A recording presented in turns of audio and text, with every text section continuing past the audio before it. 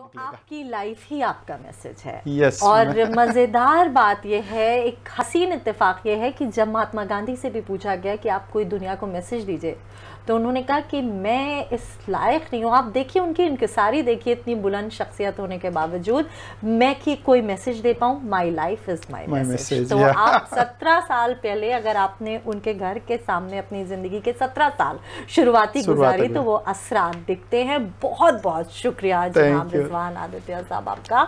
तो एक बार फिर मुलाकात हमने आपकी एक ऐसे सितारे से कराई जो अपनी रोशनी से न सिर्फ़ अपने घर और अपने आस पास के लोगों को रोशन कर रहा है जिनकी कोशिश ये है कि उनकी रोशनी और मोहब्बत पूरी दुनिया में फैल सके और हम और आप अगर इनसे भी कुछ नहीं सीखेंगे तो ये हमारे लिए बहुत अफसोस की बात होगी। दीजिए इजाज़त।